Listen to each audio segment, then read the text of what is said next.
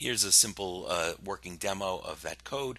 I've got a Windows form with a button called button 1. Here's the code from the article. Um, and let me run this.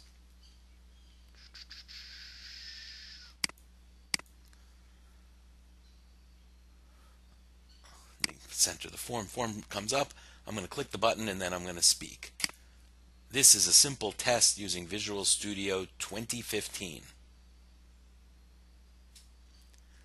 And there are the results displayed as the text in the button.